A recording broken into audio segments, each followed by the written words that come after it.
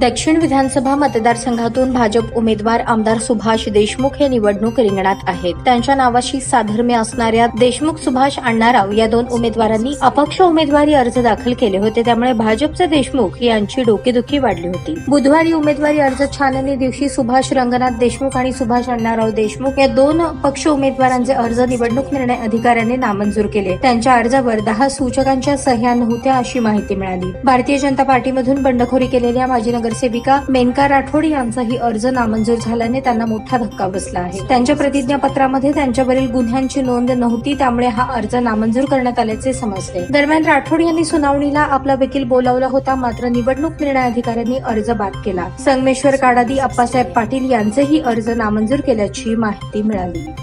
या बातमीचे प्रायोजक आहेत रिदान ज्वेलर्स. आमच्याकडे चोवीस कॅरेट बावीस कॅरेट वीस कॅरेट आणि अठरा कॅरेटचे सोन्याचे हॉलमार्कचे दागिने मिळतील. H U I D number प्रमाणित दागिन्यांसाठी जीएसटी बिल घेणे अनिवार्य.